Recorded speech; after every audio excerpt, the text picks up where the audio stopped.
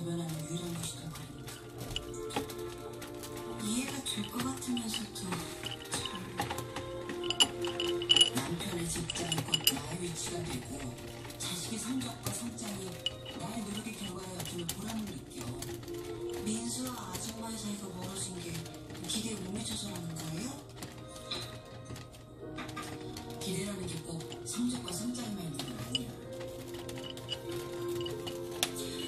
소녀이가 오늘 만난 내 친구들이